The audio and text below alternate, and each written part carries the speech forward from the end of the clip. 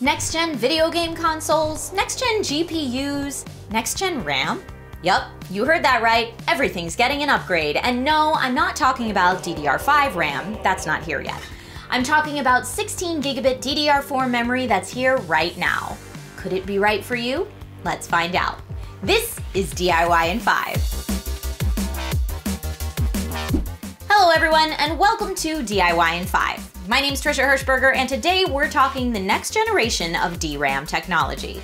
What is it? Why is it? And how to transition to get all the benefits for yourself. If you find the tips in today's video useful, please go ahead and subscribe to this channel so that you don't miss out on any future tech tips. So what is this next gen 16 gigabit DDR4 DRAM anyway? Boiled down, we're looking at more memory in a smaller size. Whereas you used to be able to get 8 gigabytes in one memory module, now you can get 16 gigabytes on the same size module, thanks to new wafer lithography below 20 nanometers. AKA, sweet new DRAM tech, thank you.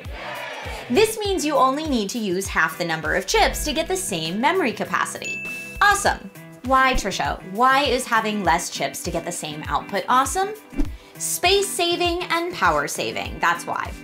Less power being used translates to better battery life on laptops, mobile devices, or even freeing up more power in your latest PC build for other next-gen upgrades. Freeing up PCB space means potentially increasing maximum RAM capacities by being able to put more RAM into smaller units. Think mini or micro builds, gaming consoles, mobile devices, etc.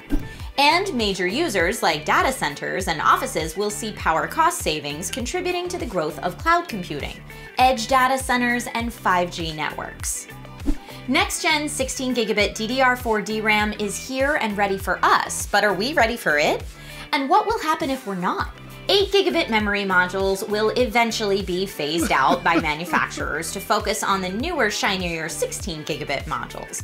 So planning ahead is always a good move. Right now, most current chipsets such as AMD Ryzen, Intel 9th Gen, and newer are compatible, but legacy Intel chips, 8th Gen or older, are hit or miss. Be sure to check with your system or motherboard manufacturer to see if there's a BIOS update required. So what do you think?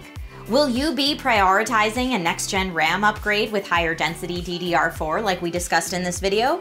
Or are you holding out for DDR5? Let us know in the comments. All right, everyone, take care and thank you for watching DIY in 5.